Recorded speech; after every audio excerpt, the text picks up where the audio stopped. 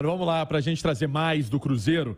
E aí, é, o Bruno Pacheco foi um jogador sondado pelo Cruzeiro, monitorado, fez a opção por jogar no Fortaleza. Fortaleza pagando também uma grana né, para o Ceará, 2 milhões de reais para contar com esse atleta.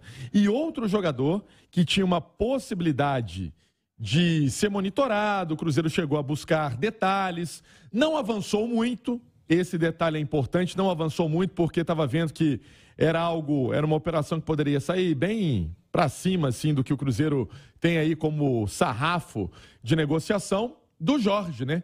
E o Jorge, pelo jeito, está acertando com o Fluminense. A informação do jornalista Venê Casagrande que o Fluminense acertou a contratação do lateral Jorge do Palmeiras. O jogador está no Rio de Janeiro e vai fechar toda a burocracia de documentação, exames, tudo vai ser resolvido nesta quarta-feira. O jogador está indo por empréstimo. Então, ó, já dá para arriscar. Bruno Pacheco e Jorge, que estavam aí sendo monitorados, já estão buscando outros clubes. Para a lateral esquerda, a gente já explicou que o Cruzeiro deposita muita confiança no Kaique e tem aí o Marquinhos Cipriano com um contrato até o meio do ano. Lembrando que o Cipriano, em março, pode assinar um pré-contrato com outro clube. Será que vai ser o Cruzeiro para ter essa permanência? Vamos esperar. E aí, Romano, levantando outras questões também em relação ao meio-campo, que foi o primeiro tema do nosso debate aqui do Rádio Esportes, de toda a participação da Nath, do Simões e você ouvinte que nos acompanha, quem poderia ser esse jogador de meio-campo para o Cruzeiro?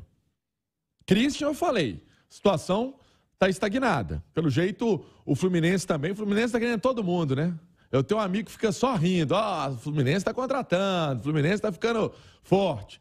Aí, o outro jogador, o Júnior Urso, que o Vasco, na hora H ali de fechar o contrato, não gostou da, do que poderia ser acertado com o jogador e o Cruzeiro sondou o atleta. Não mais que isso. Um outro nome que chegou a ser oferecido e a informação que a gente tem é que chegou a ser aprovado pelo Departamento de Desempenho do Cruzeiro, mas travou no Paulo Pessolano, porque o Cruzeiro tinha outras situações engatilhadas. Foi do Marcão Silva, jogador do Cuiabá, volante muito tempo de esporte, é um marcador, né, Romano? Deixou o Cuiabá recentemente. Deixou o Cuiabá recentemente. Sei que tem outros clubes querendo também, buscando informações desse atleta, mas é volante marcador é primeiro volante, tem 30 anos o, o Marcão. Então são nomes que o Cruzeiro é, vai avaliar no mercado, outros nomes também. Aí todo mundo pergunta assim, mas e o Almendra? E o Almendra, Pancieri? Gente, o Almendra é segundo volante, joga com cabeça levantada, dá aqueles passes bonitos de lado de campo, é um segundo volante. Não vejo o Almendra como aquele jogador de marcação, mas tem muita qualidade e o Cruzeiro está bem adiantado para assinar um pré-contrato com esse argentino que tem litígio com o Boca, até treinando, mas treinando for, de forma separada é, na Argentina. Mas esse nome sim agrada e pode chegar no decorrer, viu, gente? No decorrer do ano de 2023, Xará. É, e olha, sinceramente, é, eu não gosto de fazer isso, não, dando pitaco, falando as coisas nisso, não, mas entre Marcão e um outro jogador que acabou deixando o Cuiabá, que inclusive pertence a um clube da França, chama Camilo.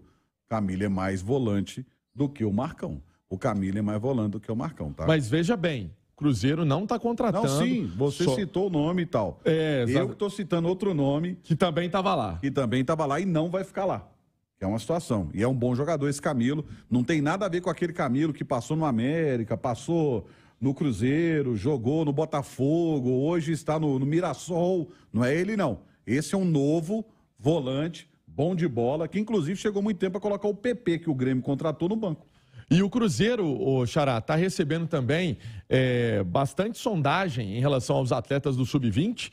E um nome que pode deixar o Cruzeiro é o do Breno Teixeira. Breno Teixeira que começou como volante, é meia, atacante, já jogou de todas as posições no Cruzeiro.